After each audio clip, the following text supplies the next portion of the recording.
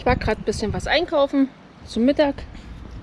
Jetzt machen wir hier so ein bisschen in der Wiese ein kleines Mittagessen.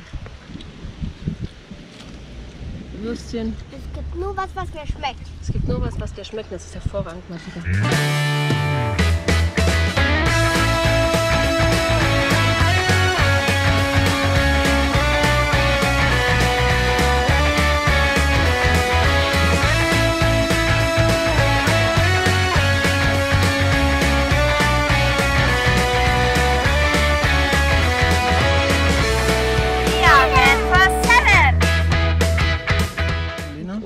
Ist das da? Was ist das da? Ein Tzatziki und ein Brot mit Käse drauf. Was? Was ist da drauf? Ich glaube Käse. Ich weiß es nicht genau. Mhm. Käse. Ähm, Genau. Machen wir jetzt Pause. schmeckt einfach nur lecker.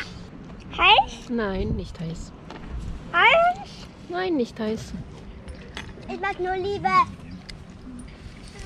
Jetzt hast du die Gabel von der Madita gemobst? Ja? Hm. Dann nimmst du ja, beißt du mal ab. Babe. Babe. Nein. Nein, nein. Meine, meine. Kann ich doch noch mal abbeißen? Weil da kriegst sogar noch eine. Liegt auf dem Teller. Mm, lecker Oliven, ne? Nein, meine Gabel will ähm, Nein. Babe. Ich will meine. Nein. Interessante Gesprächsführung haben die beiden Kleinen hier. Hey, die ist gegen unser Auto gerammelt.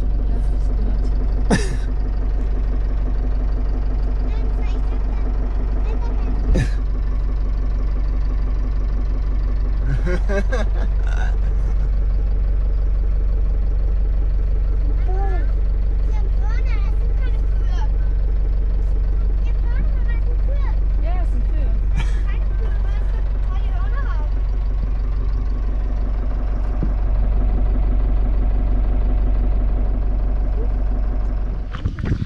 Auskenner, hier geht's lang. Wir kennen uns aus. Auf dem Baum und in den Berg hoch. Genau. Rudi voraus.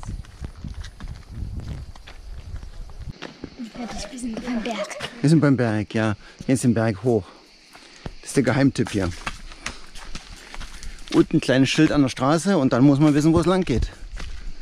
Bitte nur bei trockenem Wetter, wenn ich das hier Und ja, wahrscheinlich auch nur bei trockenem Wetter. Kali hat den besten Platz. Kuckuck.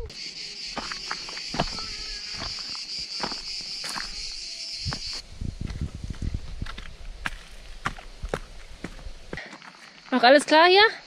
Bestens, bestens. Und hier auch? Ich wünschte mir, der Berg wäre etwas steiler. Okay. Ja, Ich suche uns für und morgen es wäre, was und Neues. es wäre etwas wärmer. Okay, wir suchen morgen was Neues zum Wandern für den Tino. Kalle singt.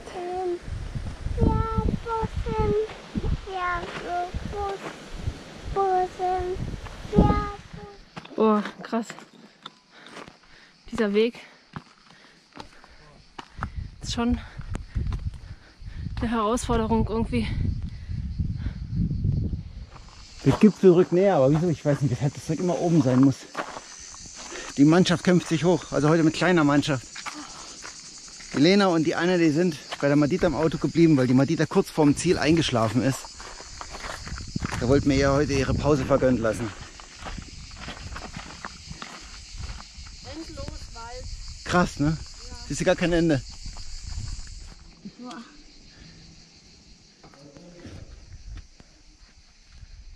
Gleich geschafft.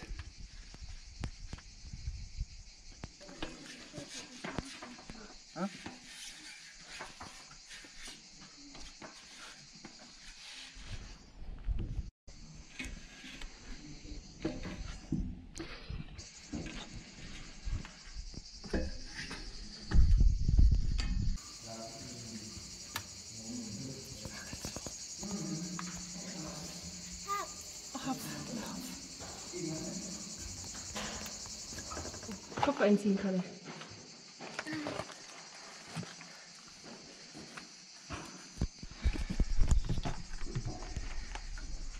oder so. Ja, ja, ja. Der Kalle hilft mit. Oh, Juli, das sieht ja geil aus hier.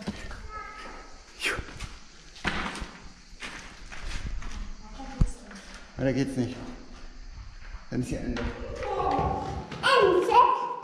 Hast du eine Münze gefunden, Galle? Das ist eine große Höhle. Mädchen hier.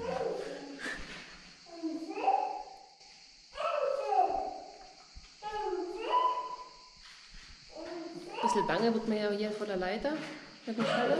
Ich nehme die Kalle. Ich bin ja sehr froh, dass Tino jetzt den Kalle hat. Weil es ist schon ohne Kalle knifflig. Wo ist die Juli? Was, drehst du dich um und kniest dich hin? Der Papa, der hilft dir?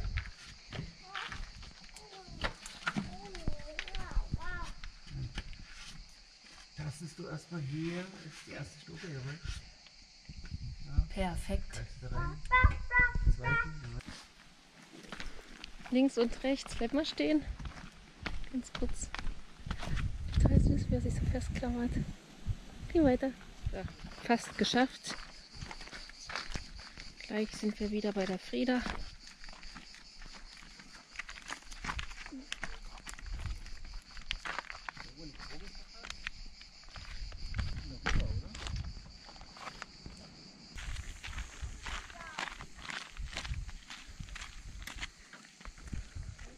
Sind wir für heute. Nach dem Wandern einen schönen Platz gefunden. Mit Häuschen heute. Tata. Abendbrot gibt's gerade. Schon Wäsche gewaschen. Hängt und trocknet. Geduscht sind wir auch schon. Ganz vorbildlich heute. Da ist nämlich, ich zeig's euch nochmal. Hier ist nämlich unsere Außendusche. Da. Made in Gardena. Geht dann hier runter und dann über den tollen Schlauch dann zu unserem Wassertank. Und bei den Temperaturen jetzt ist das Wasser, was da rauskommt, eigentlich genau richtig. Und das Beste hier hinten, da ist die Wasserquelle. Also Nachschub ist überhaupt kein Problem hier. Der Eddie hat sich schon gemütlich gemacht auf seinem Sommerkissen. Ja. Was gibt's hier? Mmh, leckere Salami. Du magst Salami? Ja. Da müssen wir jetzt Salami schneiden. Ritze, ratze, ritze, ratze. Die Juli ist ein bisschen kaputt. Die Wanderung war doch, nachdem wir geschätzt hatten, wir brauchen anderthalb Stunden, haben wir jetzt gebraucht drei Stunden. Ganz knapp daneben. Wo ist der Kalli? Ja, warte, der kommt raus. Kalli kommt gleich raus, wir warten. Kriegt seine Hose an. Ah, Kalle wird gerade angezogen, hervorragend. Ja, Achtung, Achtung, Hallo Kalle! Achtung. Hinstellen. Japs, also hoch. Eins, zwei, drei und. Komm, Papa. essen! Geht los. Mit Auto. Oh ja, oh ja, oh ja, oh ja. Komm, hinter zu Dieter. Ja, zu Dieter.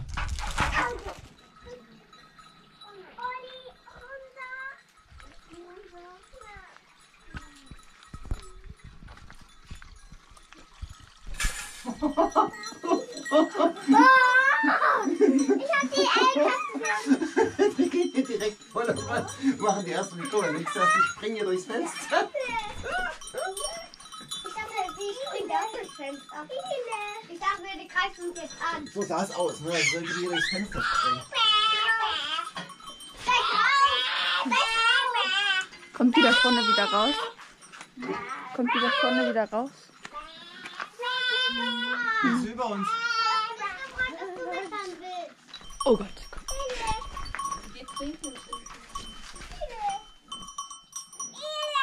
Ähm, das hier ist doch eine Junge. Eddie, das ist nicht deine Größenklasse. Hey, die Decke. Decke.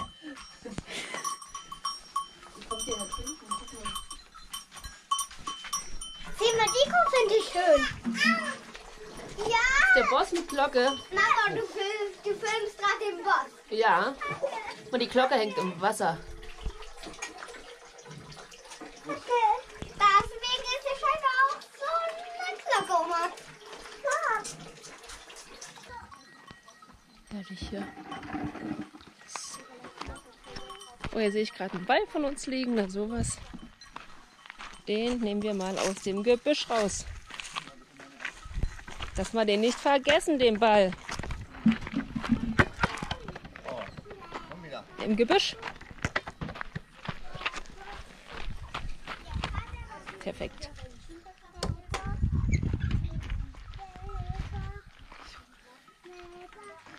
Den Felsen da oben sieht so schön aus. Wir haben jetzt einen Stopp in Borowetz gemacht. Wir haben gerade einen Markt entdeckt. Und ja, den wollen wir jetzt mal erkunden und schauen, was es hier so Schönes gibt. Sah so richtig basartypisch aus. So, ja, irgendwie ganz durcheinander sah das von Weitem aus. Wir gucken mal. Ja.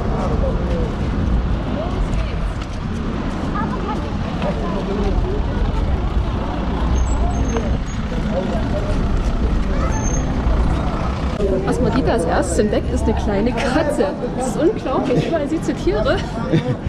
Ich habe eine die Madita hat auch eine gesehen. andere, die Madita hat einfach eine andere Blickhöhe. Hier, dass es hier eine Moschee gibt und hier der Markt losgeht mit Obst und Gemüse. Madita, komm, wir gehen mal hier rüber.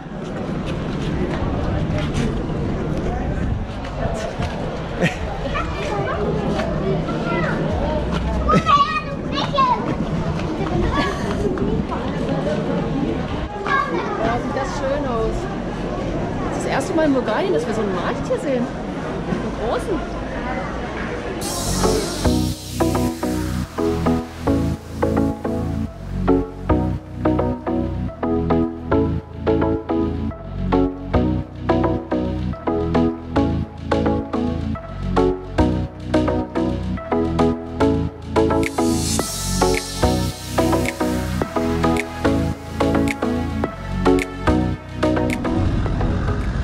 Noch was zum Mittagessen. Und dann kaufen wir ein bisschen Obst. Hier mit Pferdekutsche. Ich glaube, es reitet da los.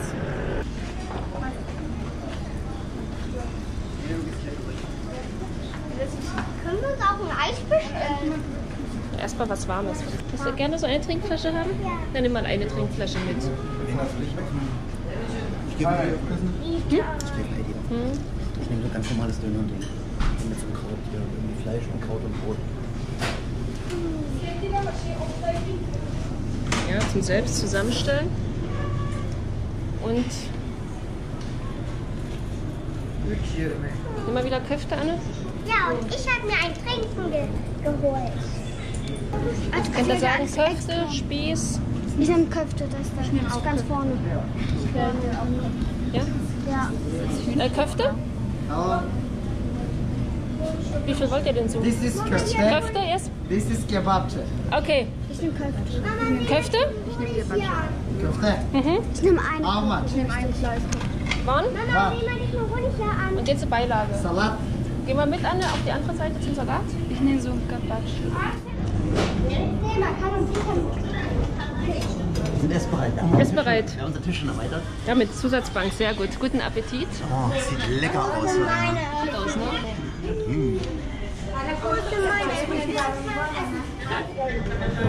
Ja. Für Kalle und Dordita machen wir es klein. Ja. Der Tino macht es klein. Hervorragend läuft das. Schmeckt? Super. Wie aus Oma und Opas Garten. Wir aus Oma und Opas Garten. Das ist ja mal ein Lob. Super. Für den Salat oder für den Garten? Beides. Ja.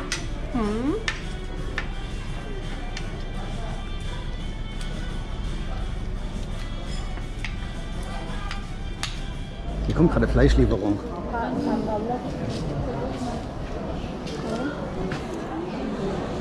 Die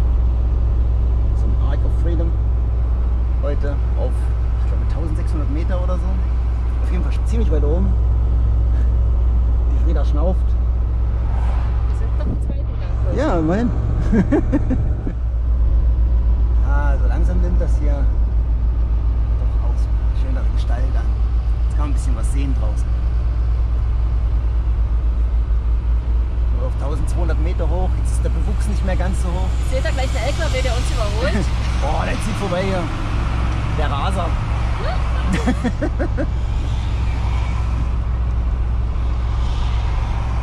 ich weiß gar nicht, was die haben. Also ich finde ja 25 eine super Reisegeschwindigkeit. Die hat der LKW schon mitgebracht, der gerade auf uns aufschloss. Da oben wollen wir hin. Das kann man jetzt wahrscheinlich noch gar nicht erkennen. Großen Bogen, der da auf dem Berg steht. Einfahrt verpasst. Nein, wir haben sie gesehen, es war zu eng. Ja, es, war, es, ging, es ging zu scharf um die Kurve. Neuer Anlauf von der anderen Seite. Ich sehe die Adventure Road auch schon, die da hochführt. Hervorragend.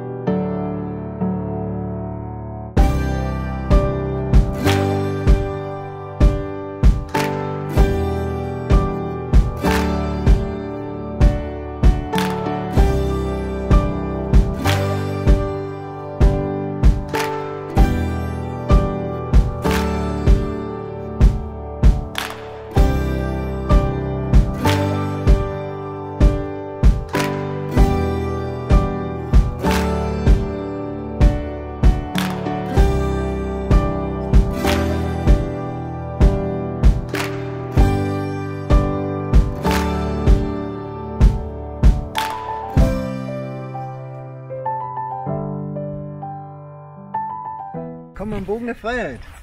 Auf 1600 Metern Höhe sind wir heute. 35 Meter groß ist das Ungetüm. Wacht hier aus Beton. Den Kriegern von den, den Freiheitskriegern von Bulgarien gewidmet, die in verschiedenen Epochen für die Freiheit des Landes gekämpft haben. Und zeigt damit auch die Krieger in verschiedenen Uniformen. Und auf der anderen Seite dann eine Darstellung von jungen bulgarischen Frauen in traditionellen Gewändern, die mit Brot und Salz die Krieger willkommen heißen, wie man das üblicherweise in Bulgarien halt für Gäste tut.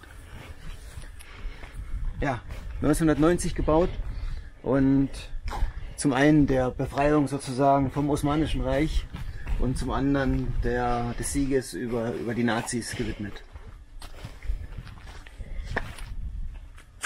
Wenn man hier drunter steht, das sieht so mächtig aus. Wärmer. Vor allem diese Stille, die man hier oben noch so spürt, weil hier ist auch irgendwie nichts ringsrum. Du kannst 360 Grad in alle Richtungen schauen von hier oben. Einer der windigsten, oder die Bulgaren sagen, glaube ich, sogar der windigste Ort des Landes. Und die Anne, die zeichnet das Ganze schon hier.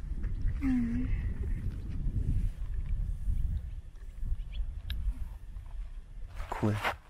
Gespannt, wie es aussieht, wenn es fertig ist.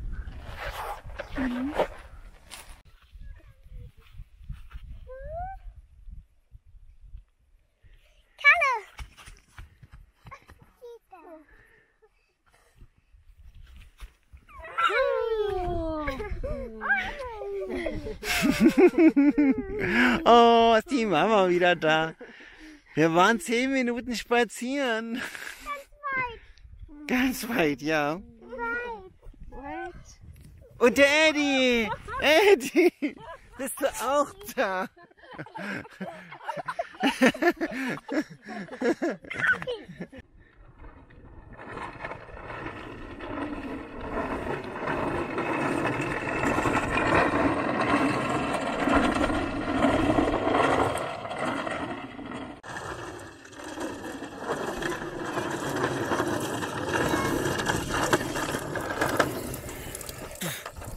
Hey du!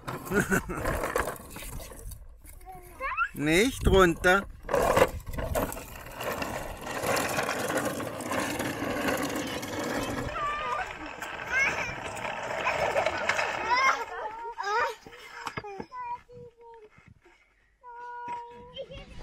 Es war total windig hier oben bei dem Monument, aber wir wollen trotzdem grillen, deswegen mache ich das hier hinter der Mauer. Aber ich denke, unser, unser Faltgrill passt hier genau dahinter. Ein Feuer! Weil wir haben nämlich, wir haben ja nicht so oft was zum Grillen dabei. Und heute haben wir Grillfleisch dabei. Und alle freuen sich schon drauf. Ah, warte mal, wir wollen noch ein bisschen Holz drunter tun, oder? Setz dich hin. Moment, wir tun noch ein bisschen Holz holen. Wir holen uns noch ein paar kleine Holzstücke. Ich mach noch ein bisschen Kleinholz. Ja, gib mal. Ja, ne?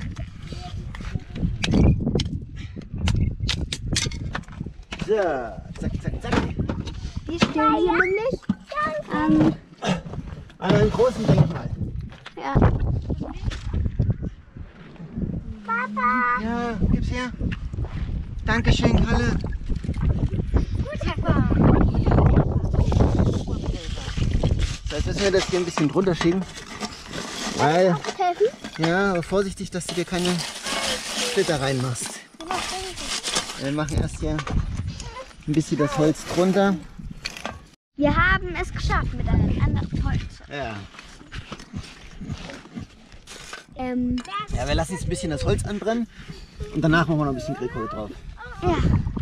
Weichen! Der freut sich schon. Der Kalle freut sich schon ganz doll.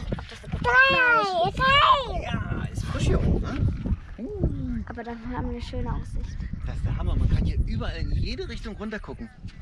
Das ist echt brutal. Ich bin gespannt, wie das heute Abend so zum Sonnenuntergang und morgen zum Sonnenaufgang wird. Ja.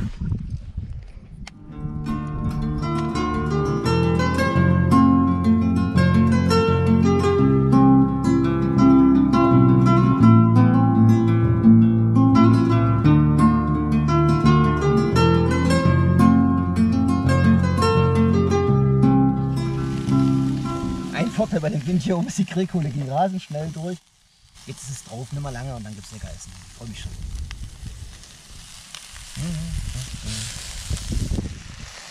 Ja, die Hühnerspieße sind auseinandergefallen. Das ist jetzt hier. Die waren nicht ganz so glücklich. Die sehen ein bisschen aus wie vom Trecker überfahren. Muss man ja auch mal mitteilen. Es ist 1.45 Uhr. Irgendwie bekommt man kein Auge zu, weil es doch ganz schön windig hier oben geworden, auf einmal mitten in der Nacht. Und das Auto wackelt ganz schön, aber irgendwie wollten wir zum Dunkel doch nicht mal umparken. Ja, da spielen wir ein bisschen Seegang. Aber mit dem Schlaf ist es nicht ganz so einfach. Mal gucken, ich hoffe, dass es irgendwann sich bald wieder legt, hoffentlich. Arena? Ja, ich bin auch wach. Ja. Schön. Bisschen Seegang heute. Ein bisschen ist gut. Ja, ziemlich dolle mittlerweile. Ich habe Angst, dass wir umkippen hier. Ach, das Problem ist nur, das Problem ist, der wechselt ständig die Richtung. Wir können eigentlich das Auto auch nicht so drehen, dass, dass es nicht im Wind steht. Das klappt gar nicht. Ah ja. Ja. Ich zähle schon die Stunden, bis es hell wird. So, heute mal Frühstück drin. Ja, strahlender Sonnenschein, aber draußen weht ja die Schnelle weg. Und, was, und wo, geht, wo ist der Eddie? Eddie, der steht an der Tür, der will wieder raus. Lieblingsschnittchen für Madita. Bitte sehr, Madita. Mit? Was ist dein Lieblingsschnittchenbelag? Eigentlich.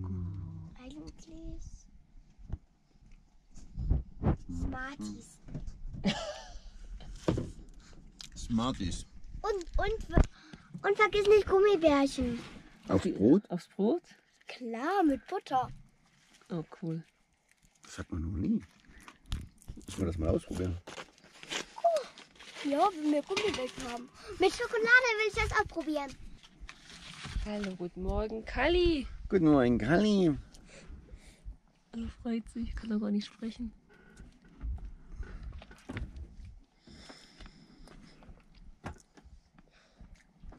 Ich weiß gar nicht, wie die Schnitte anfassen soll. Komm mal her.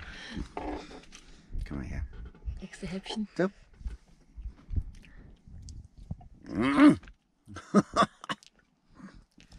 Kalle liebt Riesenbisse.